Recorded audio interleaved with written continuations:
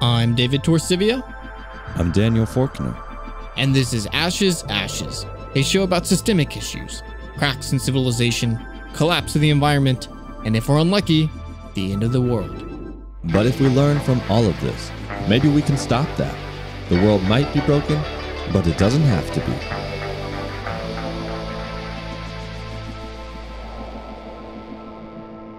So, David, two weeks ago, you kind of uh, let us know what we were going to be talking about today. And that's the new summary of the 1,500 page report we're still waiting to be published, authored by the Intergovernmental Science Policy Platform on Biodiversity and Ecosystem Services, or IPBES for short. This is the IPCC of biodiversity. So, where the IPCC deals with climate change, this, you know, where we are today and what we need to do to mitigate. This deals with uh, the interconnectedness that is our Earth life system and where it is and how much it's degraded and what we might possibly do to reverse those effects.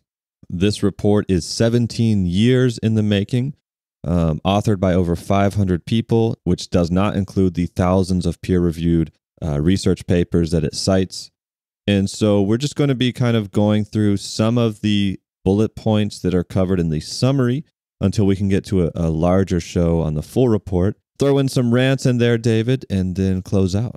Yeah, I'm here for the rants, and I'm sure everyone else is as well. Uh, we wish we could have that full show on the entire report. I'm sure there's some gems in there, but uh, as we mentioned in that update show a couple weeks ago, that that won't be out for at least another six months. Uh, we'll see when they finally get the full thing finished and published. But until then, there is a lot of information, even in this little 39 page summary. And uh, there's a lot of stuff to go over, and there's a lot of depressing things in here, even in their attempts to try and, and cheer it up uh, and make it palatable to all the policymakers and business people of the world.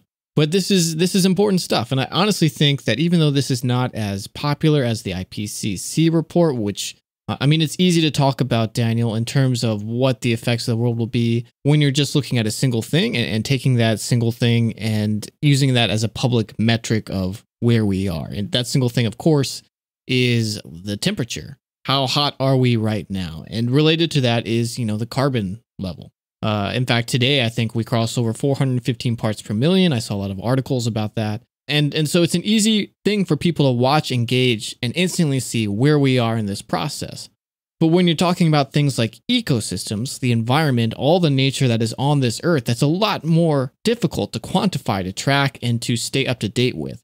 But arguably, this is a much larger impact on each and every one of our lives. So much of our everyday world depends on the success of these ecosystems. And the report does go into that, and we'll mention a little bit about how that's the case uh, throughout this episode.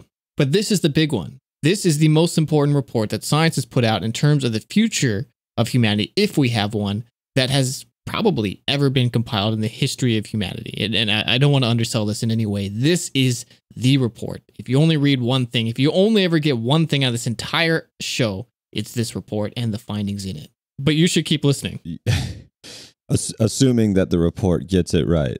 Ass- Assuming that, that the report is right. And assuming they they encompass everything and assuming that their recommendations truly uh, paint a path forward that's acceptable and, and adequate. well, I guess we'll have to see about that. Right. We did have problems with that IPCC report. I feel like this is foreshadowing. Maybe something we can rant on. So, uh, okay, let's jump right in, David. Uh, let me read from the report now.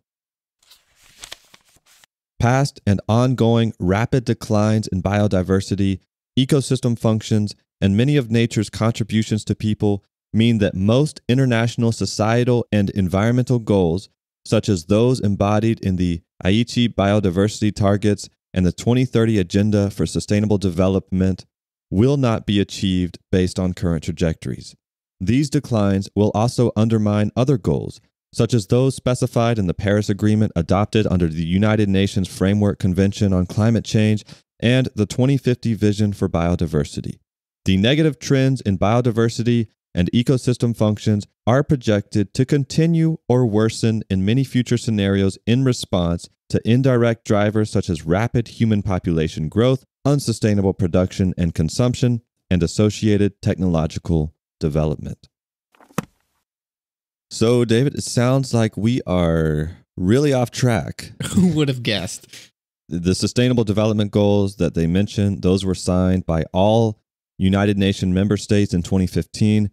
It tracks 17 different global goals for battling climate change, habitat loss, economic inequality, sustainable cities, all these things, and all for the purpose of achieving peace and prosperity for people and the planet.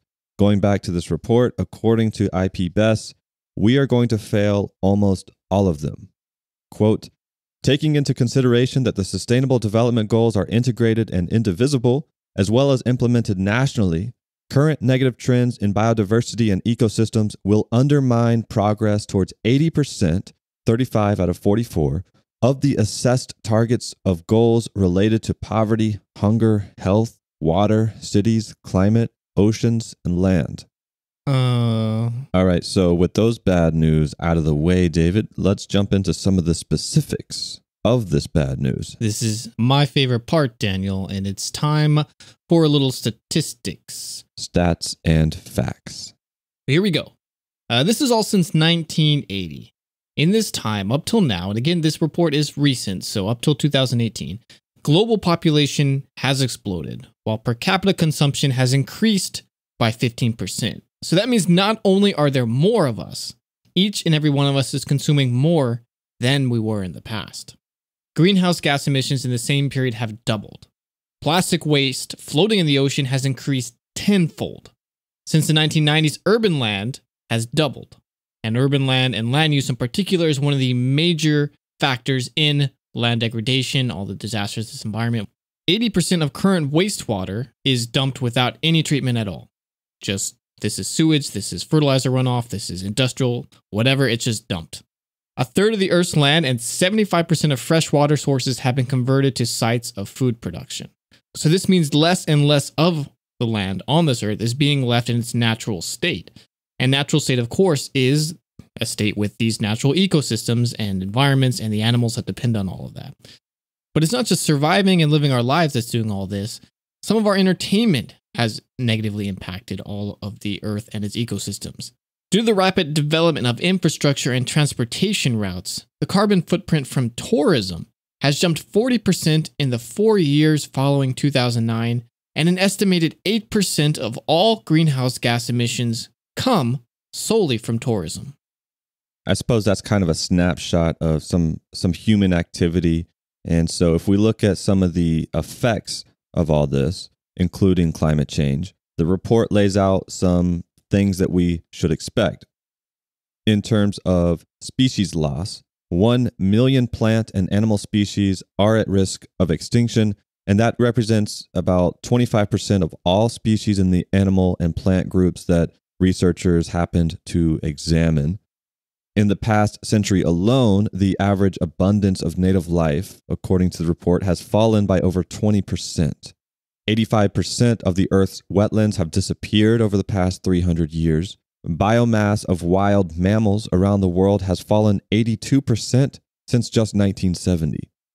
By 2014, 97% of the entire ocean was being impacted by human activity, and over half is currently being uh, fished through industrial means, and about a third of all fisheries are overfished in the ocean. Seagrass, one of the best sequesters of carbon in the world, David, declined 30% uh, between 1970 and 2000. Coral reefs, the most productive ecosystems in the world, half of all of them have disappeared in the past century and a half.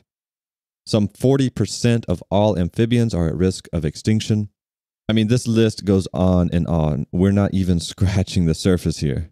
Yeah, I, I remember reading early on in the report, Daniel, actually, a quarter of all species that are currently known on Earth are facing extinction because of our actions. One in four. Could you imagine if there was something threatening one in four people? Like what the response to that would be?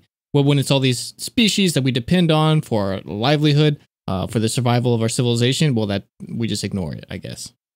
And really, there's no way for us to anticipate that. It really is is incomprehensible. I mean, we don't even know all the species. We haven't cataloged all the species that live on this planet. I've I've seen estimates that we know anywhere from like 10% to 1% of all species on this planet. we have no idea what losing that amount of species means in terms of, of biodiversity and in terms of the way ecosystems function. I mean, this is something we've talked about. Everything is interconnected. One insect species goes away, and all of a sudden, a whole uh, food chain collapses. All of a sudden, our food can't grow because we don't have those pollinators. There's so many unpredictable consequences of loss that we just have no way to anticipate. And that, of course, is just uh, identifying these species that we do know about, like you mentioned. How many species have we already completely lost and never knew were there in the first place? All these ecosystem niches that they filled have been totally destroyed. And we're seeing instead this homogenization of the species of the earth. And this is actually one of the things the report talks about how not only are we losing so much life around the world, we're losing a lot of variety, and it's being replaced by more and more of the same, which sets us up to be more and more fragile. Because as we've talked about before, single species are highly susceptible to single pathogens, to single vectors of death, and it can wipe out entire things all at once instead of small localized packets. Um, there's there's so many different ways that this loss of life can impact us negatively, it's hard to catalog them all, and these these connections are difficult to impossible to see until things really start to fall apart. David, I uh, I forgot. I, I meant to mention in the beginning, like before we started, that if the listener was having a bad day or a bad week, maybe you know skip this episode for now. It's kind of depressing. yeah, I think that that's a good good idea. This one might be worth skipping, but come back to it eventually. come back to it when you're uh, feeling good, feeling well, then we might bring them down. Maybe it's better to listen to this when you're already feeling down. But you have like something really fun planned afterwards. Yeah, that way you can come back up. Yeah, self care. Yeah, all right, works out. Um, and so all these things, you know, that we've we've seen so far, this destruction, almost all of this has been a result of direct human activity, whether that's our construction and development, logging and fishing, resource extraction, you know, from the soil, from fisheries, all these things.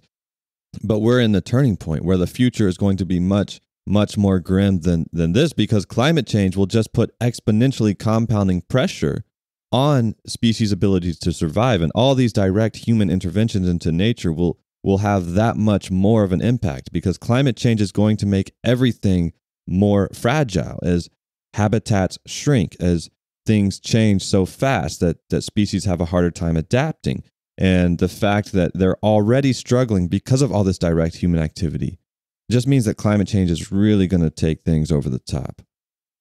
Well, I've already started alluding to this a little bit so far, Daniel, where, yeah, we have all this loss in these ecosystems, but these ecosystems that we're losing also impact us. It's not just these things living off by themselves. We're served by all these things we defined as ecosystem services, which is a very pragmatic way at looking at how these ecosystems interact with their own civilization and society. And I don't like it totally all the time because it sort of tries to quantify the effect and the usefulness of various ecosystems, but it is important in understanding these larger system ideas of how we interact with the ecosystems, which all interact with the earth, and everything comes together. Um, and there is a lot of value in that. And, and ecosystem services also serve ecosystems themselves. It's not just a human relationship. Um, but but these are ultimately what starts causing the huge loss of life. Because when these ecosystems start failing in their services, then you see these cascading effects around the world that ultimately affect not just the ecosystems but human civilization as well. So let's talk about a little bit of these. And the report goes into a lot here. I think you're right about there's somewhat problematic language in quantifying ecosystem services. And we did talk about this a little bit more in depth in episode 34, Irreplaceable. But ecosystem services, this is how all life on Earth is supported. This is the foundation, right? We can't live without the services that nature provides. And so trying to quantify it into a dollar figure is problematic.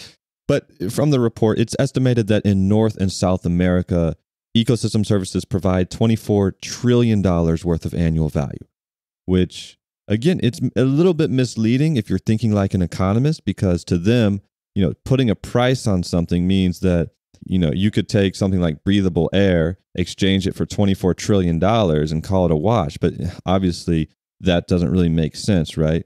But it could be useful to conceptualize how a dollar figure can be put on nature. The natural world absorbs roughly 60% of all of our greenhouse gas emissions, for example. And that acts as downward pressure on global temperatures, which then decreases the risk of something like a deadly hurricane. And the coastal ecosystems that we have, like coral reefs and mangrove forests, these mitigate the risk of inland flooding. So when Hurricane Harvey came in and devastated Houston, Texas, in addition to a number of other places, to the tune of $125 billion, which they are still recovering from and probably will never fully recover from. If there's a particular ecosystem that we could say can prevent a Hurricane Harvey, then we might say that's worth at least $125 billion, right? Math checks out. Another really great example for ecosystems that give us a huge amount of ecosystem services, Daniel, is wetlands. And this is one of the most endangered ecosystems around the world today. I think at the report, it mentioned that up to three quarters of these are gone at this point. So, wetlands serve a variety of roles. They will help things like that storm surge that was so deadly in so many of these hurricanes that have struck and caused such giant bills. Uh, they filter the water that we drink. If destroying a wetland to build a residential neighborhood results in the need for a $3 million water treatment facility, well, then we can take a look at this ecosystem service as having a value of at least $3 million because that wetland was saving us from having to construct this thing. Um, of course, I think maybe somebody who's pragmatic would say, well, that also prevented us from creating $3 million worth of jobs. So who's really the winner here? But I mean, obviously, figures like these are only looking at the most basic, easily quantifiable version of this calculation. And uh, it leaves out all this other stuff. They're hopelessly undervalued. Nature is invaluable. Anybody who stood there and looked at something can say there there's no price for this. Like destroying this, there is no value that is worth this. Um, at least anybody who has a heart. Uh, maybe a developer might say something different. Uh, but I mean, even beyond that, if we got rid of this nature, then that means we're ultimately dooming ourselves to a destroyed world. And in that case, you could say the value is essentially infinite. Well, David, we're dealing with dollars, figures here. And as long as we're going to put a dollar figure on nature, we should take the discounted present value, which any good economist would do, which is you just take all future returns of something, discount it to the present value based on uh, interest rates and all that. And the dollar figure for nature would still be infinite because in the long run, we're all dead without it. So, yeah, uh, there, there you go. That's the economic defense for my rambling. you intuited it correctly. well, uh, this report did a much better job calculating this stuff out than, than I did right here. Uh, they considered data from over 2,000 studies on various ecosystem services. They grouped nature's contributions to people in 18 different categories, ranging from things like habitat creation, air and water filtration to things that you wouldn't necessarily think of at first, like cultural services. And they found that of these 18 categories, 14 of them, or 77%, are currently in decline. And that's a threat to everything that we know in this world. One of the things that uh, biodiversity and ecosystem decline threatens is the agriculture, the very food that we eat to sustain ourselves as a modern civilization, David. Of all the domesticated species and breeds of animals that humans use for agricultural food production, 25% of them are either gone or going extinct. This reveals how biodiversity loss means economic losses to the food industry, but more importantly, an increased risk of disease, zoonotic diseases, which we talked about, which originate in animals before ultimately jumping to humans. It, it's kind of counterintuitive, David, how agriculture you know, problems in agriculture can increase the risk of disease for humans. But uh, this is something we touched on in episode 20, our episode on, you know, pathogens, which is zoonotic diseases uh, are a class of diseases that originate in animals before they jump to humans. And these. I thought it was zoonotic. I'm going to have to edit that. Yeah. Uh, zoonotic diseases are uh, responsible for 17% of all infectious diseases, so that, eh, causing 700,000 deaths every year. And that's going to only accelerate as our livestock animals become less and less diverse, which means we're, we will have to apply an even greater number of antibiotics, which, as we talked about in that episode, will cause the proliferation of antimicrobial resistant strains of pathogens. In fact, if I remember, one of the most resistant bacterial uh, gene going around that's that's entering all these different pathogens came from most likely from a pig farm in which you know this antimicrobial resistance was allowed to uh, kind of incubate itself because of all this, you know, condensed industrial animal raising that we're doing. And uh, obviously, the loss of diversity in there is only going to uh, make that worse. But maybe, Daniel, we can get people more interested if we identify some of these crops that might be lost or threatened by these ecosystem services, by the disaster that's happening all around us. I mean, 75% of global food crop types, including fruits and vegetables, and like I said, some of these most important cash crops, which include things like coffee, cocoa, almonds, all these rely on that animal pollination that is now being threatened by this loss of life and diversity. Reminds me of the papaya uh, disease that like destroyed the Hawaiian economy several years ago because there was no diversity. The papaya disease? Yeah, d- d- you remember that? You know, Hawaii grows all our papaya. It's not very genetically diverse, and there's this fungus or some kind of pathogen that just came through and just destroyed so much of their production. I think it's still a problem, but they're working through it. Well, I, I know we talked about the the loss of all one type of banana, the old, more delicious type of banana, because everything was a The big Mike. monoculture, yeah. And the current banana, uh, what is it, the Cavendish, is now being threatened by a similar disease, and uh, they are worried that the current clones of bananas that exist all over the world will also all be wiped out. So uh, you can see very quickly how these non-diverse populations can be threatened very rapidly. which means uh, our culture is threatened, right? You know, like in cartoons, David, when you see a person, uh, they're walking and there's a, a banana peel on the ground and they step on it and they slip and fall. In the future, kids won't know what they're slipping on. Well, but even going back to the, the banana that went extinct, the whole reason that joke exists is because bananas from the past, I think maybe it was the Big Mike that everyone loved, that peel was actually slippery. But our current bananas don't have slippery peels. So if you actually like think about it, it doesn't really make sense. No, I've slipped on a banana. I've legitimately slipped on a banana peel. Oh, you have? Like if you drop it with the fruit side down, it's kind of like gooey and slushy, and I've slipped on that. Okay, I redact my point. Or maybe you're just clumsy. To, I'm I'm definitely clumsy. um, okay, back on topic. I want to come back to this point though about the loss of domesticated animals. Um, there's something I hadn't really thought about, but the report states, quote, globally, local varieties and breeds of domesticated plants and animals are disappearing. This loss of diversity, including genetic diversity, poses a serious risk to global food security by undermining the resilience of many agricultural systems to threats such as pests, pathogens, and climate change. End quote. And I wanted to come back to this because it reminds me of something that Wendell Berry wrote uh, in one of his books about what goes on in adapting a flock of sheep to a single farm. And I think this is really important because for us city folk, David, uh, who think Cheerios grow from trees, we need more reminding of just how complex and involved local adaptation really is. And this comes from an essay entitled Let the Farm Judge. Our farm in the lower Kentucky River Valley is mostly on hillsides. Heavy animals tend to damage hillsides, especially in winter. Our experience with brood cows showed us that our farm needs sheep. It needs, in addition, sheep that can make their living by grazing coarse pasture on hillsides. And so, in the fall of 1978, we bought six border Cheviot ewes and a buck.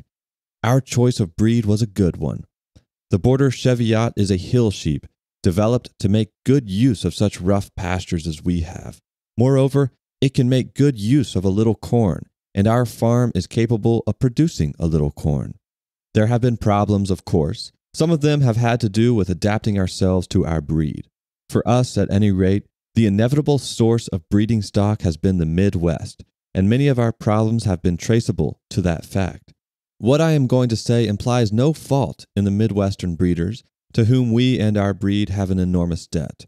It is nevertheless true that, for a flock of sheep, living is easier in the prairie lands than on a Kentucky hillside. Just walking around on a hillside farm involves more strain and requires more energy. And the less fertile the land, the farther a ewe will have to walk to fill her belly. Knees that might have remained sound on the gentle topography of Ohio or Iowa may become arthritic at our place. Also, a ewe that would have twin lambs on a prairie farm may have only one on a hill farm. Similarly, a lamb will grow to slaughter weight more slowly where he has to allocate more energy to getting around. We once sold five yearling ewes to our friend Bob Willerton in Danvers, Illinois, where on their first lambing they produced 11 lambs. On our farm, they might have produced seven or eight. We have noticed the same difference with cull ewes that we have sent to our son's farm, which is less steep and more fertile than ours. Our farm, then, is asking for a ewe that can stay healthy, live long, breed successfully, have two lambs without assistance, and feed them well in comparatively demanding circumstances. Experience has shown us that the Border Cheviot breed is capable of producing a ewe of this kind, but that it does not do so inevitably. In 18 years, and out of a good many ewes bought or raised, we have identified so far only two ewe families, the female descendants of two ewes, that fairly dependably perform as we and our place require. Um, so I'm going to pause right there and just reflect on the fact that so it took him 18 years upon initially purchasing this breed of sheep to select for just two individuals that can give birth to uh, individuals that are locally adapted to his farm such that they reach optimal productivity. And it just goes to show how complex and how specialized and how unique a local environment truly is. Uh, he goes on to write about the ways these uh, ewes now perform on his farm, which I'm going to skip. Back to the essay quote, the point is that especially now when grain feeding and confinement feeding are so common. No American breeder should expect any breed to be locally adapted. Breeders should recognize that from the standpoint of local adaptation and cheap production, every purchase of a breeding animal is a gamble. A newly purchased ewe or buck may improve the performance of your flock on your farm, or it may not. Good breeders will know, or they will soon find out, that theirs is not the only judgment that is involved. While the breeder is judging, the breeder's farm also is judging, enforcing its demands and making selections. And this is as it should be. I think about this story a lot. Anytime we hear about how some new technology is going to radically reshape agriculture in, in a whole country, or anytime I hear about some new seed being developed by someone in a white uh, lab coat, and I remind myself that the real work in developing farms, in stewarding land, in protecting species, in selecting for breeds that are going to be uh, resistant to climate change. This happens on the ground by people who are working that ground, who are living in that ground, who depend on the things that that ground produces. That's where that work goes on. And these big commercial products can only paint over that. And it would be a mistake, and it has been a mistake, to continue marginalizing the people who are doing this very important work.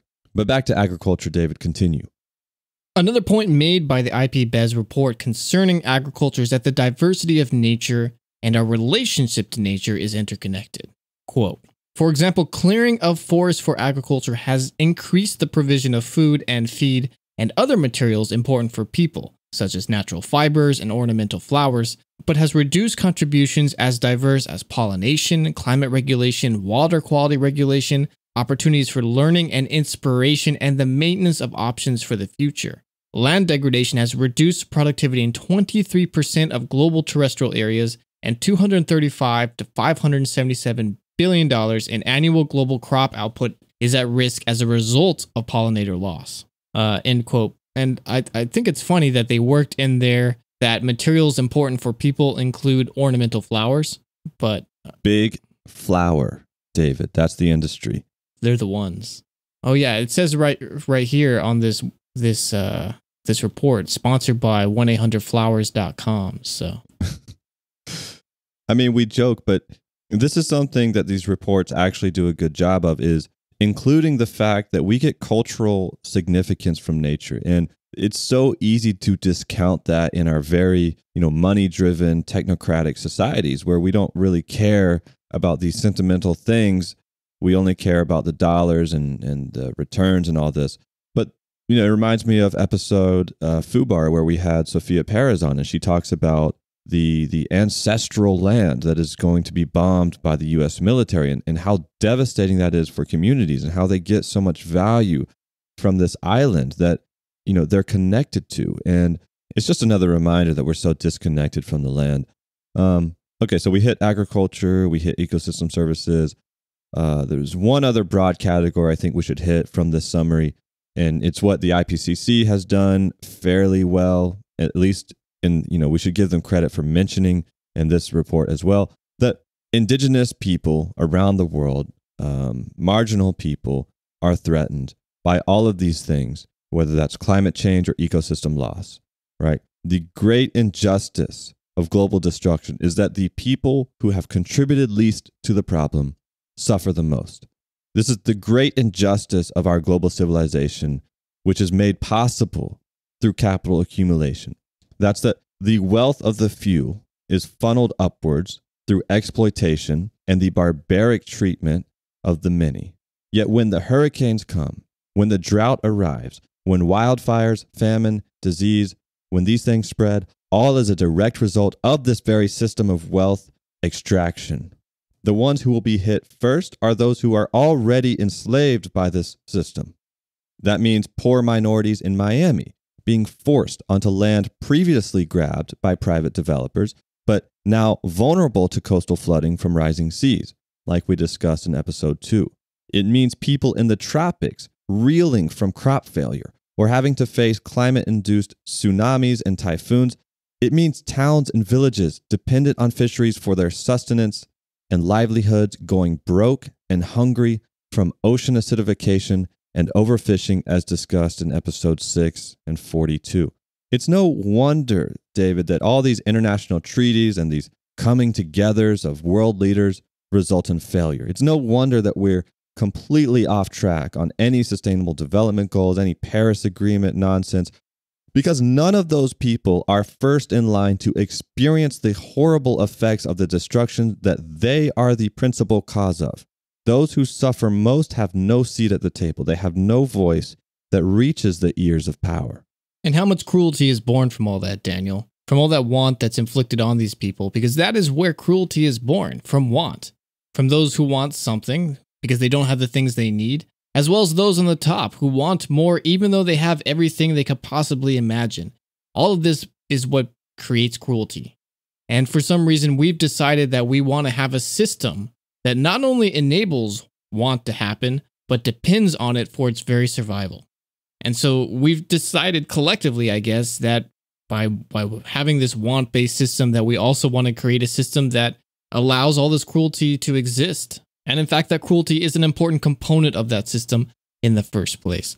But uh, I think I'm getting distracted here. Um, to turn back to the report just for a second, you're so right, Daniel, that the people who are most impacted by all of these tragedies, both climate and ecosystem related, are the ones that are most vulnerable.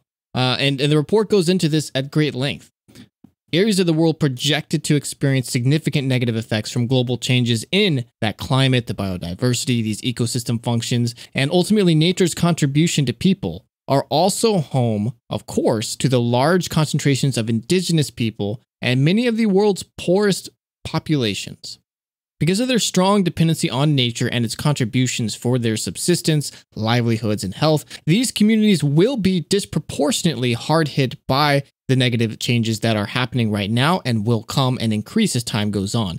These negative effects also influence the ability of these indigenous peoples and local communities to manage and conserve wild and domesticated biodiversity and nature's contribution to the people.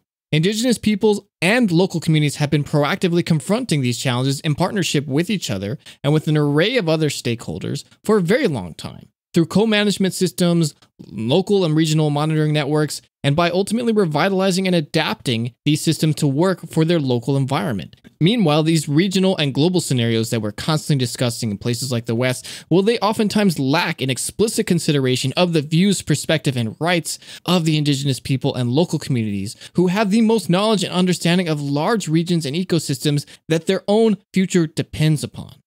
There's a great irony here, too, because it's not just that we should, you know, morally speaking, care about inequality because it's the right thing to do, which we should, but also if industrial methods are the ones destroying the world, then our future rests on those who maintain and cultivate holistic and sustainable methods of stewardship, which is more often than not found in indigenous populations.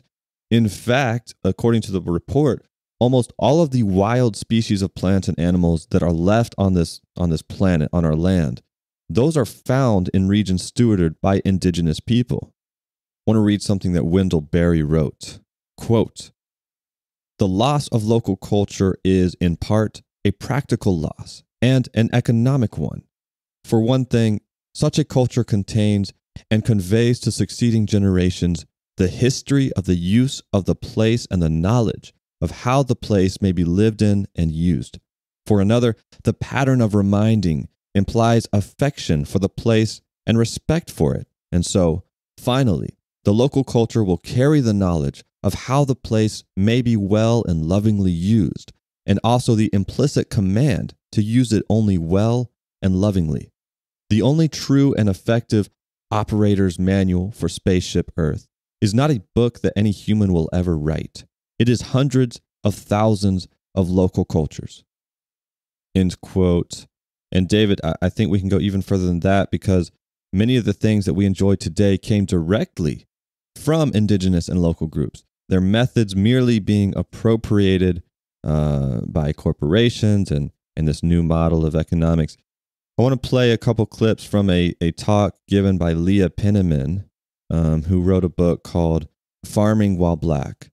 And in this talk, she discusses how much of the innovation in agriculture came from the black farmers of Africa and the black farmers of the American South that were used as slaves and, and how much we take for granted in their contribution to the modern way that we view agriculture.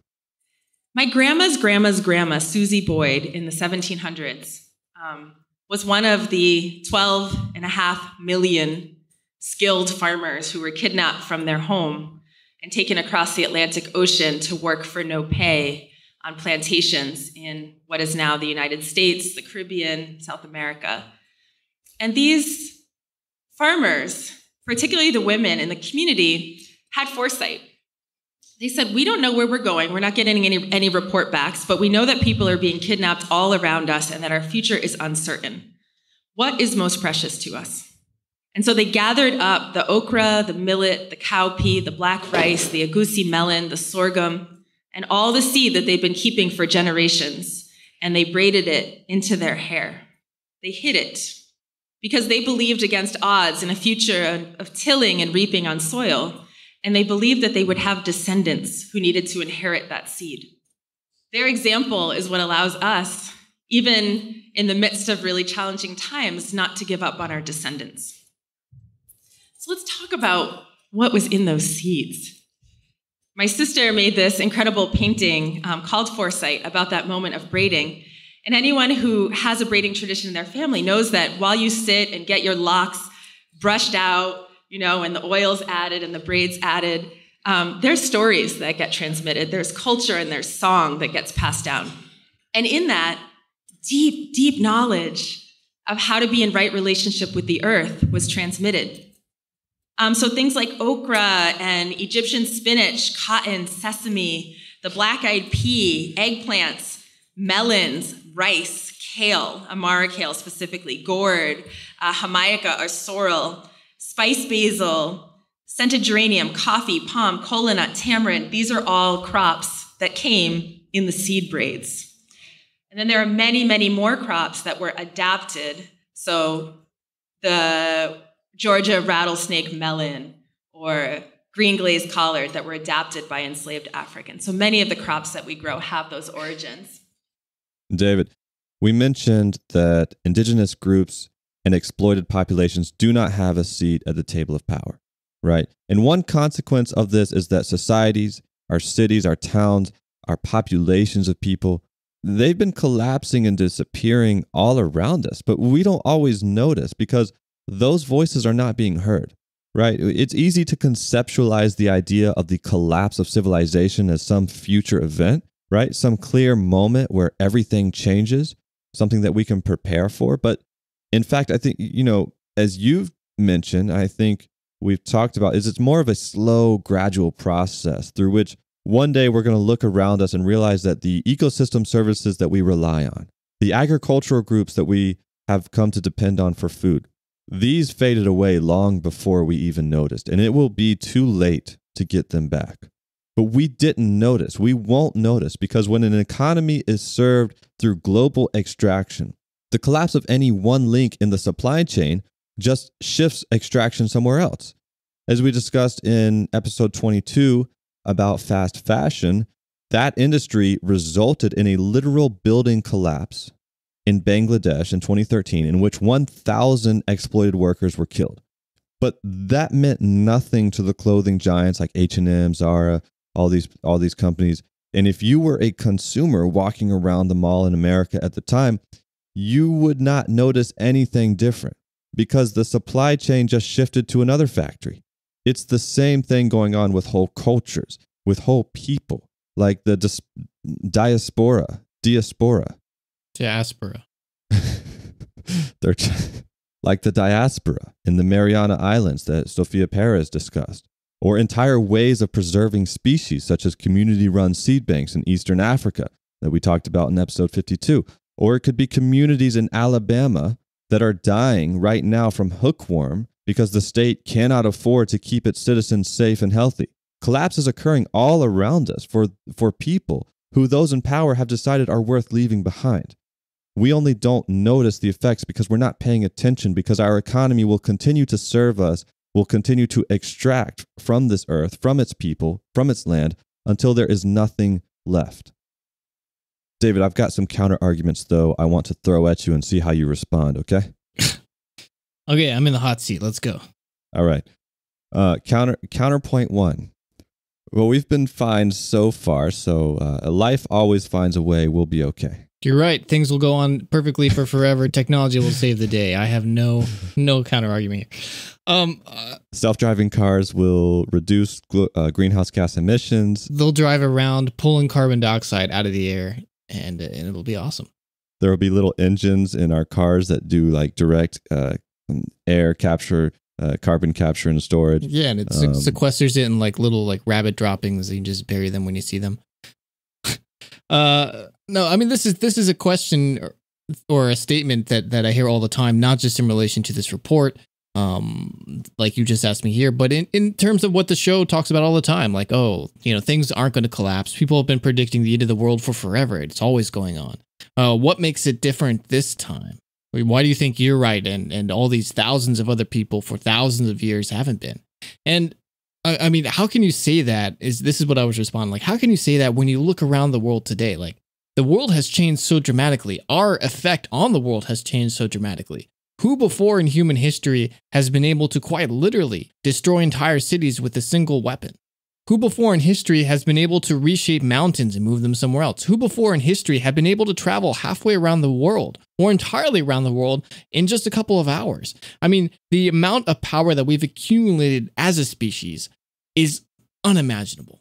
And in that same process, the amount of us who make up this species is also unfathomable compared to anything that we've seen in human history before. There is so much biomass, so much weight around the world that is either directly human from our massive 7 billion population to the huge amount of, resources we pulled out of the earth, concrete that we built up, metal that ties all of our civilizations together.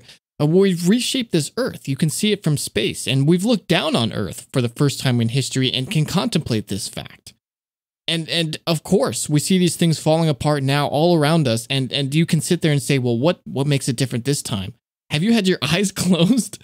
Uh things are rapidly degrading. There are places even within these these non-collapsed areas that are in collapse. We've talked about this before in terms of the poverty that we've seen even here in the united states where one and a half million households still live on less than two dollars a day where there are open sewage pits in southern Alabama that the UN has declared worse than many developing nations around the world. That this is the most intense poverty that they've ever seen.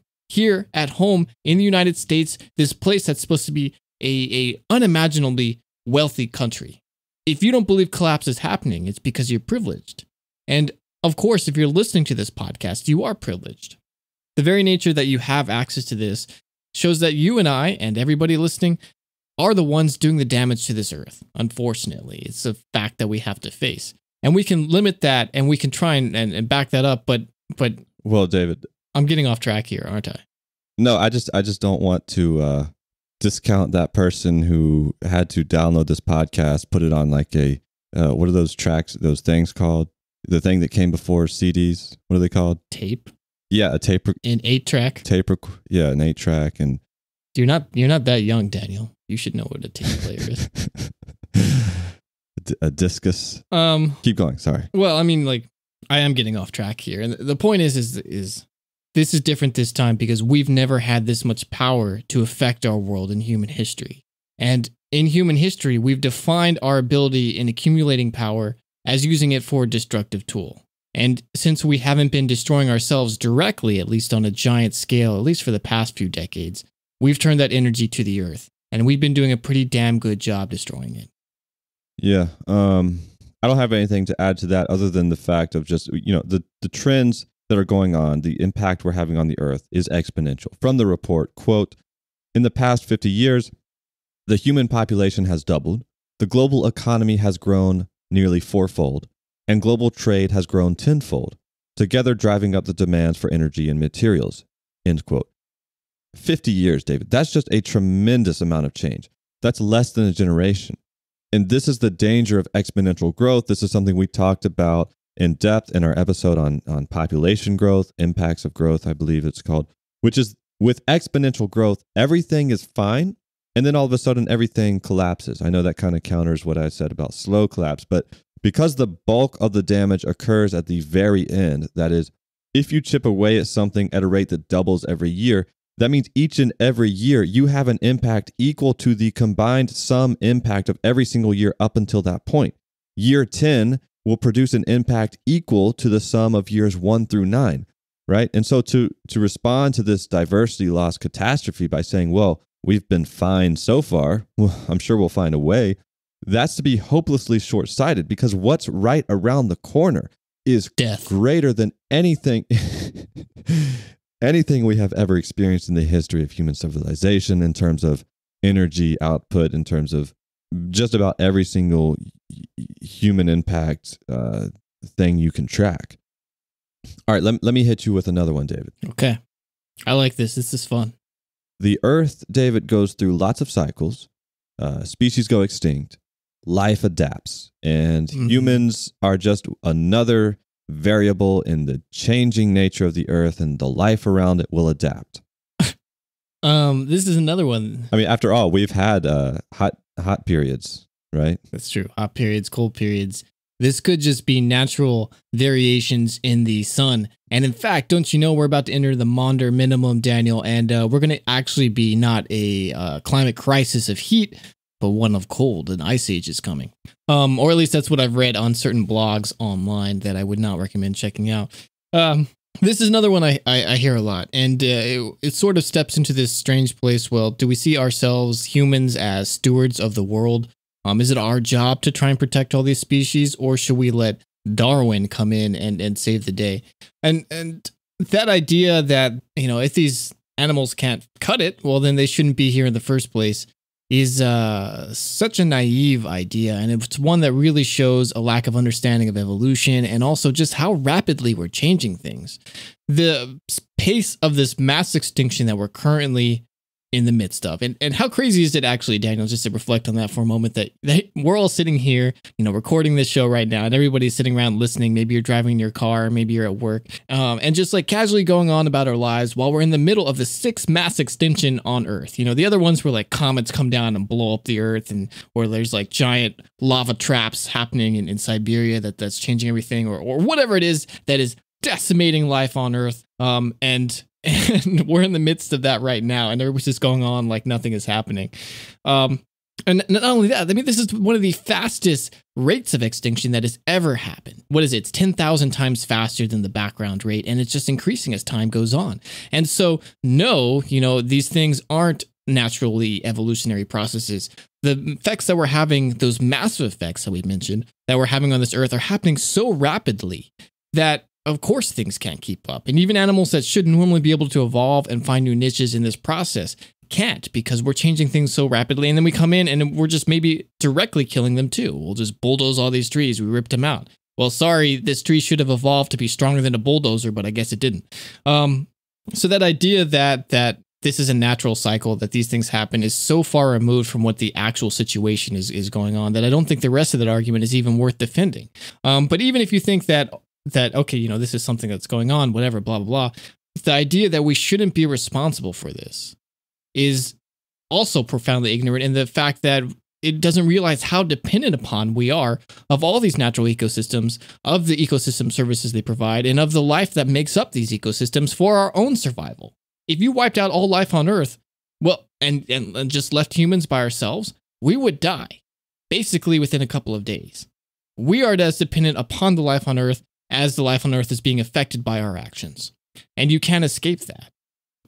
To add to that, it, it is true in in a sense that life does adapt. But what has occurred on this planet, and especially what will occur, is not accurately summed up as change. It's wholesale destruction. So, in one sense, saying, oh, species will adapt to the change, well, that's true. But what is the change they are adapting to? The change is that there will be less Earth to inhabit. Another way to think about it is like if you took a 10 story apartment building full of people and then just eliminated nine of those floors. Would people adapt? Uh, yes, in a sense, if you mean 90% of those people would have to move out, but since in this analogy, the building is the entire earth, there's nowhere else to go, and adapting simply means dying. Climate change and habitat loss does not mean that species have to adapt to warmer temperatures and changing weather patterns. They have to adapt to the fact that their forest does not exist anymore, or that the wetland that they evolved in is now a desert. They have to adapt to the fact that the very foundation of their diet, the insects and the things that ate those insects, those have disappeared. That's what we're adapting to is just destruction. And uh, to piggyback off one thing you said, David, you mentioned we are dependent on ecosystems. We cannot survive without the life on this earth.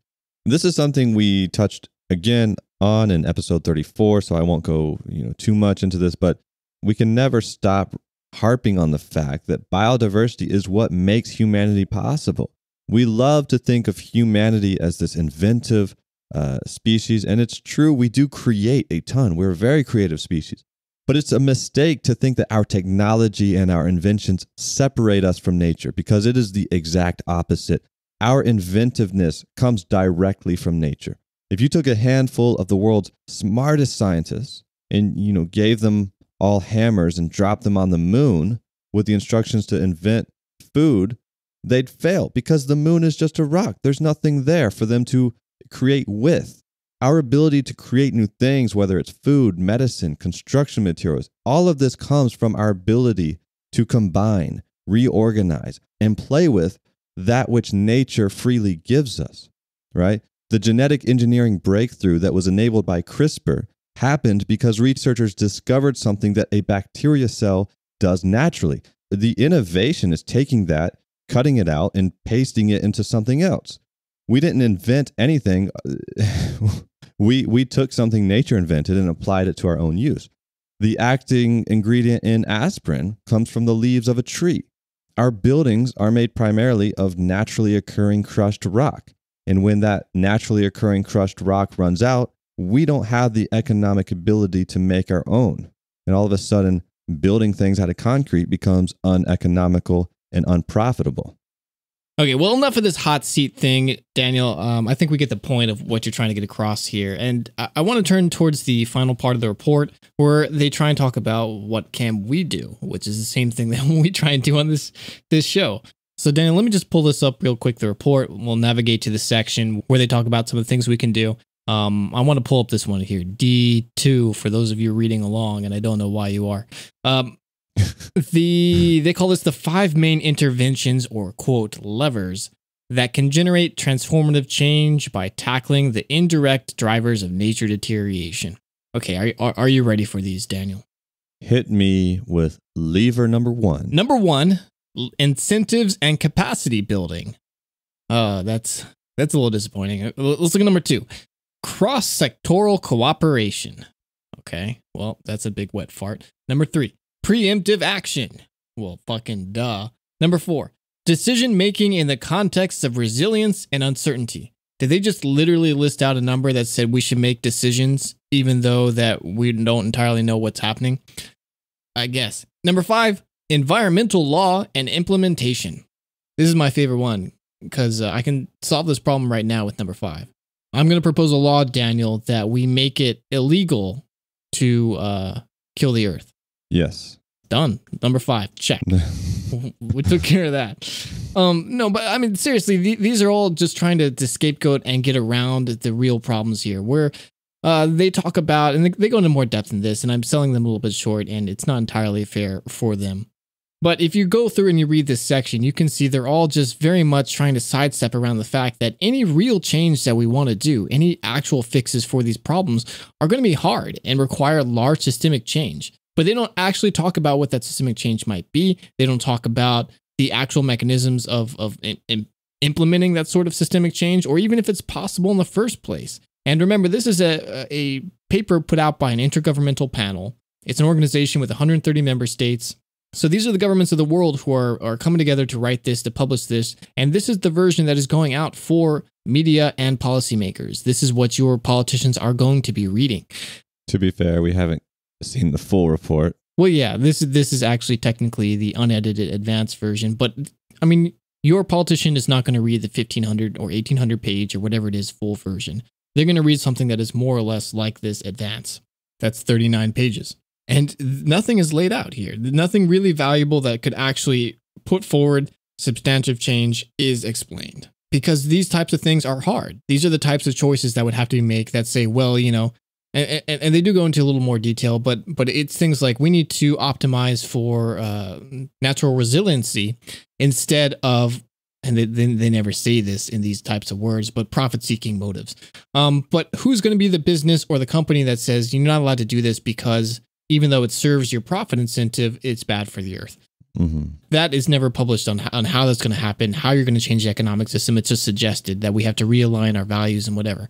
Uh, but that is not how the earth functions right now. That's not how we decided to build this world. Remember, what we're talking about, we want a world that is dependent upon want to push things forward. And from that want, we bear cruelty. And that is a fundamental nature of the way that we've decided to interact with each other in the economic system.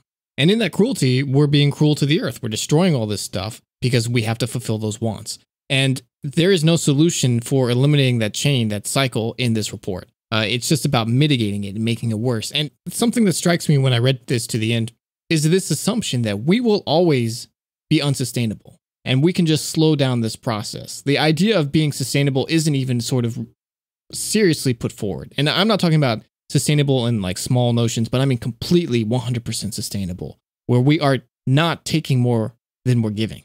But it's possible to give more than you take. There are communities around the world who enrich the soil, who make their environments better. Uh, we've talked about this with some soil builders on the show before. If you remember Chris Del Sandro on here, Daniel, mm-hmm. way back in episode 16, who spent so much time trying to get carbon back into the soil to make it healthier, to add all these other weeds, things that we would consider weeds, into his ecosystem to make these permaculture forests that that is better than what was there before. And he's the person who is working on trying to give back more than he's taken out of this soil. And and he does get to take things from it he gets food, he gets uh, resources, but he puts more back in. And I really like that notion that there is a world that is possible where instead of each one of us taking from the world, where each one of us burns this much carbon, we, where we have a budget where as long as we don't go over this, we won't destroy things quickly. But instead, we say, well, here's my negative impact. I'm not harming things, I'm making them better. And, and that's never even part of the discussion anymore because we can't even imagine a world where that's possible. Even though, in especially in, in, these indigenous communities, in the small local communities that you mentioned earlier on in this things, the stakeholders, as they would call them in this report, that exists in many places, but it's not profitable because the profit is based on this extraction, this step from the future that we've talked about, where that's the only way we can get something to actually appear profitable. But in the end, that profit is an illusion because nothing is actually profitable unless we are borrowing on the life and the the health of the earth and of our future. What a beautiful idea, David, the fact that we could give back to the earth more than we take. You mentioned something about how the these reports, these types of intergovernmental panels always fail to really push fundamental change to the structures of our our politics, our governments, our economies. Here's something they say from the report. Quote, you can't just tell leaders in Africa that there can't be any development and that we should turn the whole continent into a national park, said Emma Archer, who led the group's earlier assessment of biodiversity in Africa. But we can show that there are trade offs, that if you don't take into account the value that nature provides, then ultimately human well being will be compromised. End quote. First of all, uh, laugh out loud at the idea of the Western world telling Africa um, that it needs to take into account the value of nature.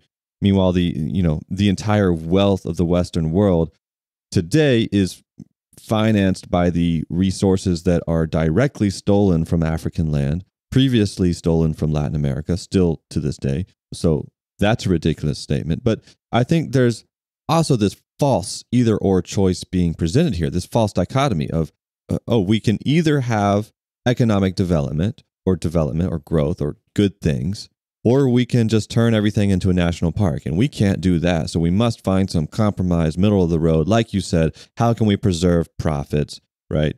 Um, I want to play another story from Leah Penniman's talk that kind of reveals a little bit of the the hypocrisy here. Anyone here do crop rotation? Yes, good. I know you're not raising your hand because it's so obvious that, of course, you have to for your organic certification. Um, what do you think this picture is of? Slash and burn, right? So slash and burn is a sort of derogatory name that some folks give to Swidden agriculture. And you know, I studied environmental science in college too, so I, I thought it was like the worst thing you could ever do to the land, like you know, burn it down and then um, rape the soil of its nutrients and all of that. That's really how I understood it.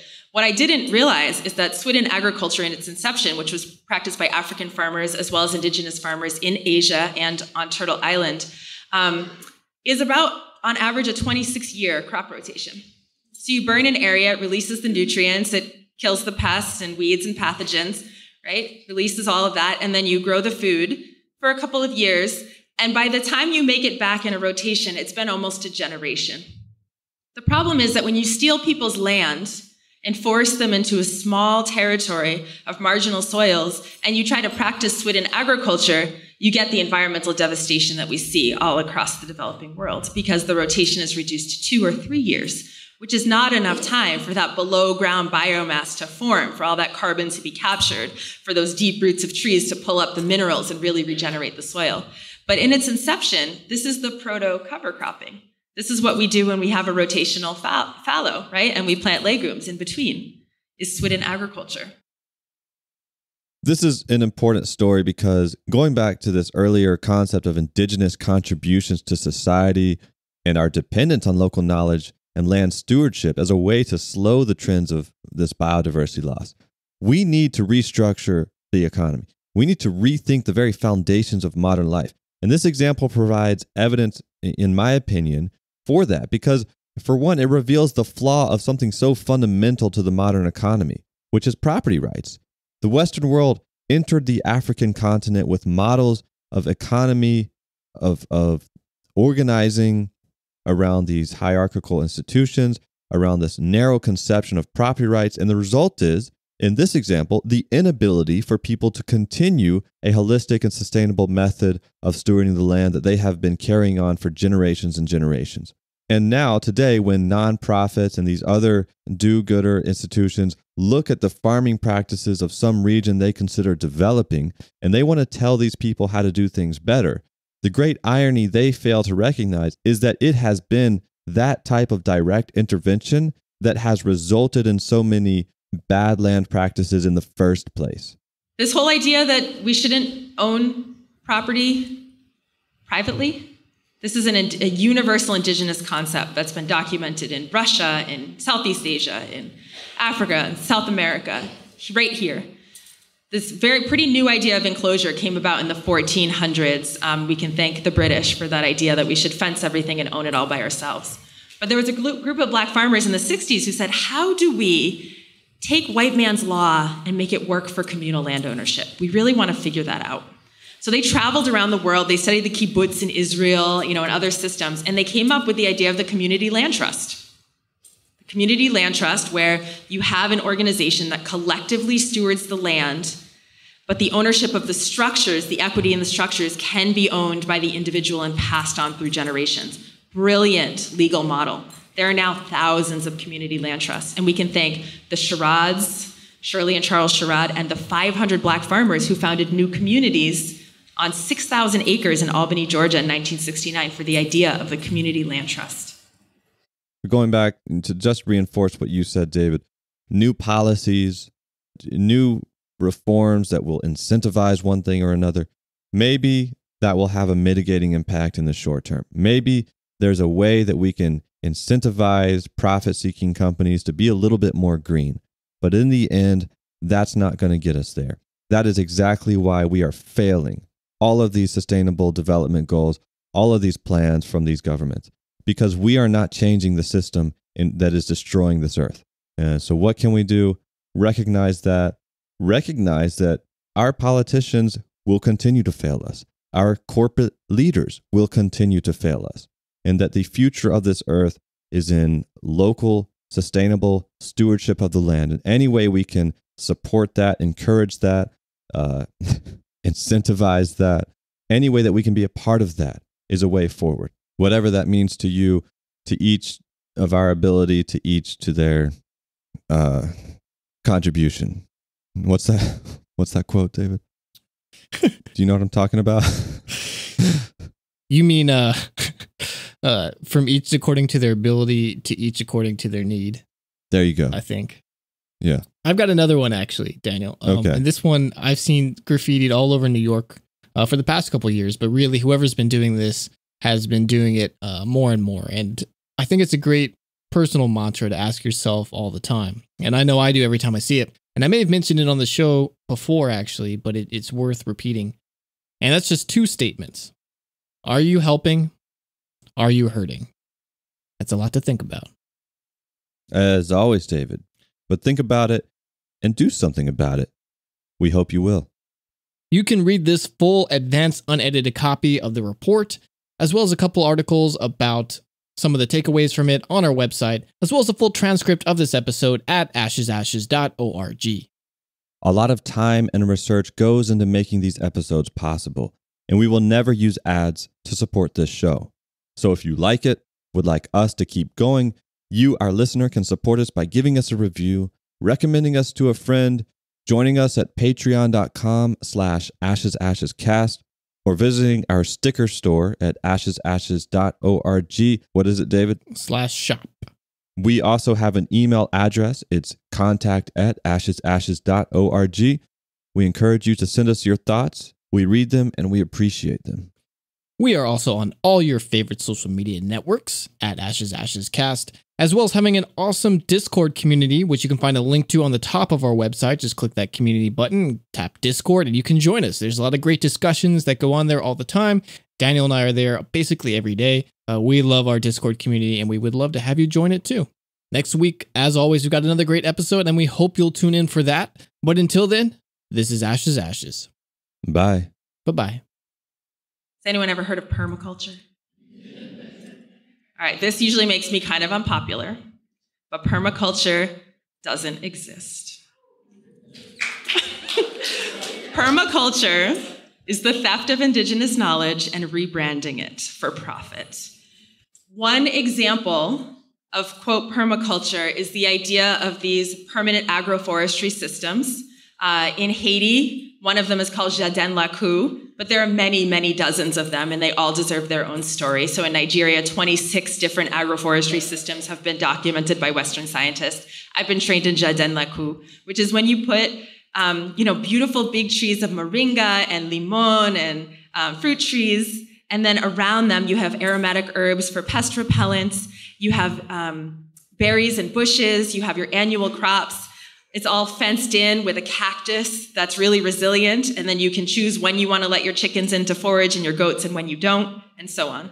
This is a nursery that we helped build uh, in Haiti, in the community of Bigonet, for people to use for to replenish their jardin lacou, their house garden, and everybody has one. Agroforestry is pervasive, so we can thank Black farmers and other indigenous farmers for what we call permaculture.